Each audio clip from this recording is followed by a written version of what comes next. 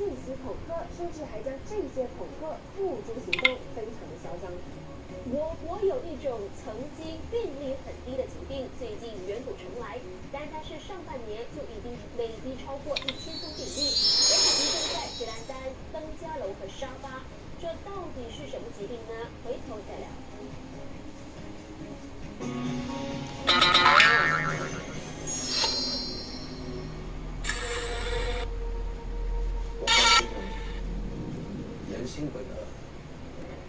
今天你主宰不了别人，明天别人去主宰你。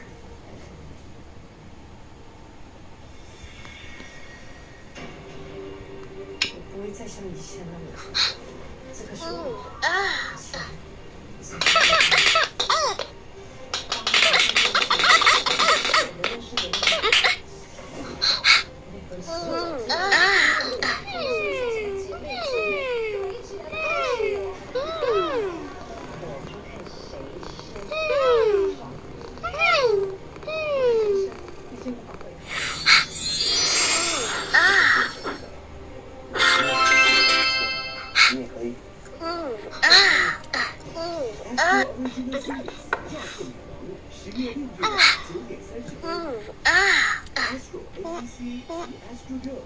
想要荣获头衔，就不能让教化遗失我。潘琪、潘潘潘错，还有文气跟生物素，在绣花添加五千亿元，绣花更强韧高达百分之百，防止掉落，强韧的绣花，强大的刺激，不用浪费不可能利用。ちょっと見えてるな。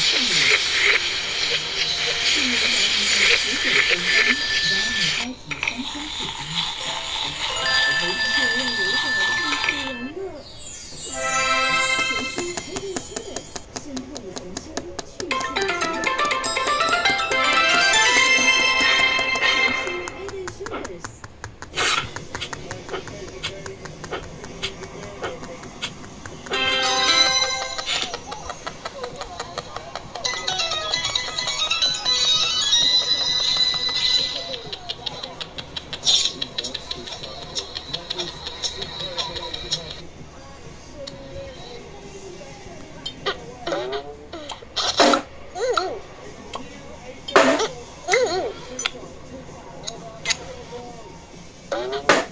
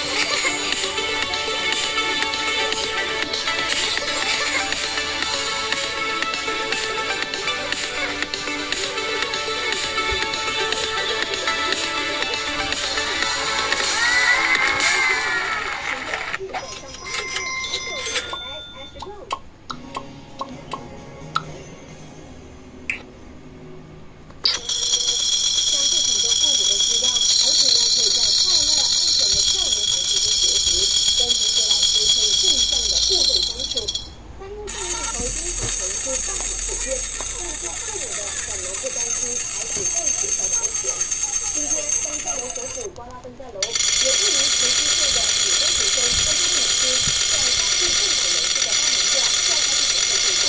他不但经常常收到不明的手机短信骚扰，甚至对方把对女学生的语言恐吓化成行动，竟然在女学生的饭盒里投下药恐吓，让被骚扰的女学生不堪被霸凌的压力，跟妈妈两度去报警。那